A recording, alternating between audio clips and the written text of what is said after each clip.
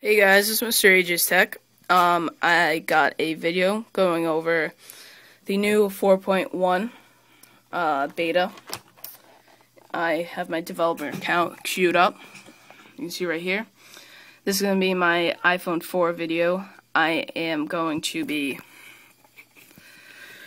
oh, what do you call it? Uh, getting the beta for my iPhone 4 to mostly fix the reception issue. I have big, big problems with it. I always hold my hand with my hold my iPhone with my left hand. So that is really bad for me. Hopefully this will fix, and I'll actually tell you guys. You know, uh, so I'm recording this with my iPhone 4, editing with iMovie on the iPhone, but it will be uploaded in large because that's the limit for the iPhone 4. So, anyways. See right here, 3GS, iPhone 4, wait, tap to focus.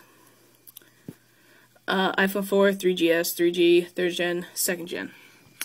Beta firmware will be up tomorrow morning. I do not have my MacBook Pro yet. So, keep that in mind.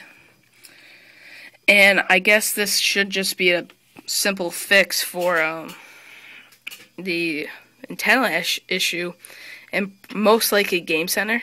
I'm guessing, right? Because we don't have it yet. So anyway, guys, this is Mr. AJ's Tech. A quick, quick update video on iOS 4 4.1. So that should be out very soon. It's in beta 1. Okay. Okay, guys, one last thing uh, for this video. I really would like to thank Matt from Ultimate Cydia Source for letting me download this app. He gifted the application to me for iMovie so that I can edit now on my iPhone 4. So definitely check his channel out. Link in the description and when I get on my computer, annotation around here. So I'm editing this in iMovie.